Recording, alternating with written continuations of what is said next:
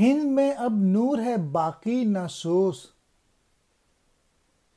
अहले दिल इस देश में है, तीराए रोज़ हिंदुस्तान का अलमिया ये है कि अब यहाँ पे जो लोग हैं, उनमें पैशन नहीं है, जज्बा नहीं है, इश्क नहीं है, रोशन दिमाग नहीं है, दिल में सोज व गुदास नहीं है।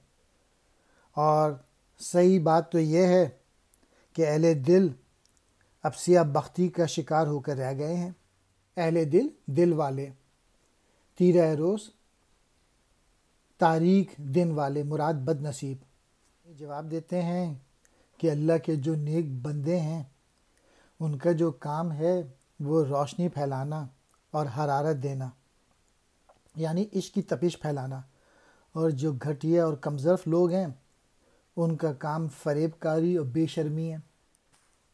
Imparting heat and light is the task of the brave.